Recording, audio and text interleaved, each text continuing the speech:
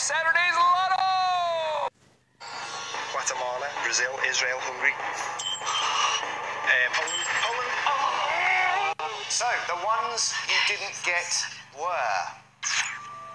Quetzal, Guatemala becomes a G. Piso is the Philippines.